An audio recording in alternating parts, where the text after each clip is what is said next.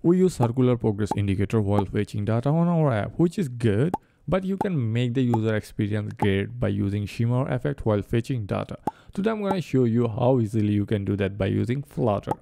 If you want to follow along with me, download the starting project from GitHub. You'll find the link on description. We have news page which shows all the news. On initial state, we assume it takes 2 seconds to get the data from backend. That's why after 2 seconds we said is loading to false. Now if you restart the app, it shows circular progress indicator for 2 seconds. Shimmer effect is nothing just a container with light gray color. The color of our container is black with 4% opacity. Also, we're gonna round the corner by applying border radius. At the end, I'm gonna add padding so that our container has minimum height, which is 16 right now because we apply 8 padding all over the container. Now it's time to give a name to this container. Click on the container, then press Ctrl Shift R, then extract widget. I'm gonna call it skeleton Sometimes we may need to define the height and width. That's why I'm gonna add a height and width parameter to the skeleton widget. Let's create shimmer effect for this news card. At first, we need to wrap our skeleton widget into a row. For that, click on skeleton widget, press Ctrl Shift R, then tap on wrap with row. News card have image on right, then few lines for category title and time.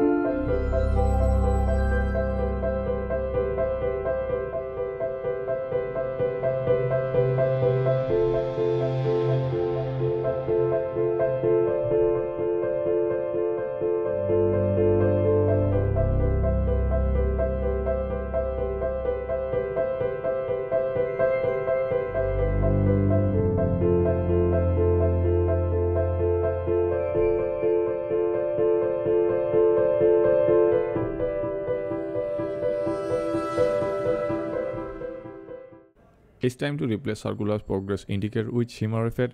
Right now it shows one, but we need few more. For that we're using list view separated.